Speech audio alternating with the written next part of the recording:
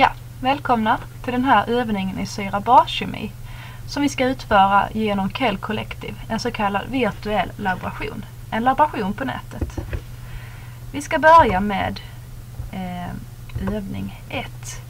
Första övningen är att man ska undersöka hur många milliliter av 10 molars saltsida syra som man behöver för att tillsätta till 100 milliliter enmolars natriumhydroxid för att man ska få lösningen att uppnå pH 7. Och då går vi in på Chem Collective. Ni ska använda den eh, som heter Strong Acid and Base Problems. Alltså, frågan var hur många milliliter av 10 molars saltsyra som man behöver tillsätta till 100 milliliters emolars natriumhydroxid för att uppnå pH 7. Då börjar vi med att mäta upp vår eh, lösning med natriumhydroxid. Vi behöver alltså 100 ml enmolars natriumhydroxid. Natriumhydroxid är en, eh, en bas. En stark, stark bas. Här står 1 molars natriumhydroxid. Då tar vi den och släpper den där. Det här ska vi nu eh, hälla över i en bägare. Vi kan ta en 250 ml. Då tar man denna och på så. Och här nere skriver man då i 100 milliliter. Det står i milliliter där. Pour. Då har man 100 milliliter där i. Eh, det vi nu ska göra är att vi ska ta fram 10 milliliter saltsyra. Och det är den som är där. Drar vi över den. Och vi ska hälla i, eh, i här. Så. Och vi ska hälla i en milliliter taget. Nu gäller det att hålla koll här. Här ska stå PO7. Och så gäller det också att räkna hur mycket vi har tillsatt. 1 ml, 2 ml, 3 ml, 4, 5, 6, 7, 8, 9, 10. Så den är precis på 10 att det slår till runt 7. Här i har vi nu en lösning med pH 7. Vi tillsatte 10 stycken milliliter av den här. Och vi tillsatte det i den här natriumhydroxiden som vi hällde över här i. Alltså svar på fråga 1 är 10 ml eh, 10 molars saltsyra. Vi går vidare till övning 2. Övning 2 är eh, 75 ml av 1 molars saltsyra tillsätts till 100 ml 1 molars Eh, natriumhydroxid. Vilket pH får lösningen? Vi går tillbaka till vår eh, workbench, alltså vårt virtuella labb. Eh, vi ska ha alltså 75 ml emolas saltsyra i en och vi ska ha 100 ml emolas natriumhydroxid. Och så ska vi blanda ihop de här två. Vi kan börja med saltsyran, 1 molar.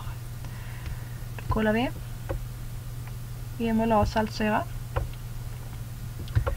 Eh, vi häller över detta i en bägare. Där har vi vår bägare. Och där har vi vår saltsyra. Uppgiften sa att vi skulle ha 75 ml den här. Så vi skriver 75. Och häller över. Här har vi vår saltsyra. Vi sätter de här bredvid varandra. Och sen så skulle vi ha natriumhydroxid. Det är denna. Och det häller vi också över i en bägare.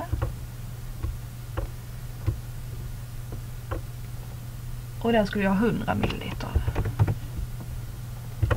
Sådär.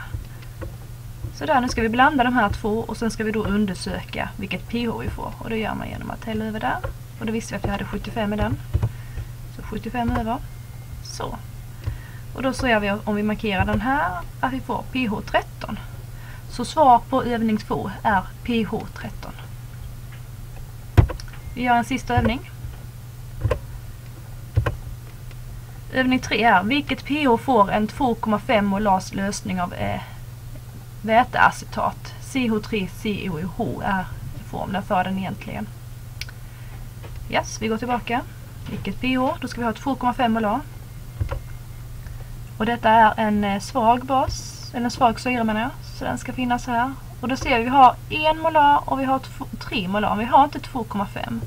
Så det vi måste göra är att vi ska späda och då får man späda den som är starkare. Man kan ju inte göra en svagare starkare. Utan vi tar den här trimolarian.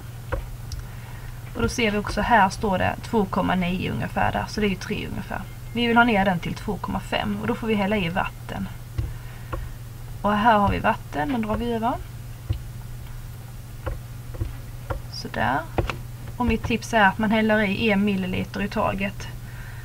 Och så ser vi eh, när den får 2,5 här så avläser vi PO här nere. Vi ser den får från 2,9 2,8 där nere på, 2,7 2,6 är det nere på nu 2,55 53 51 vi tar en till sådär 2,49 då ser vi här att när vi har eh, ungefär 2,5 står det här då ju.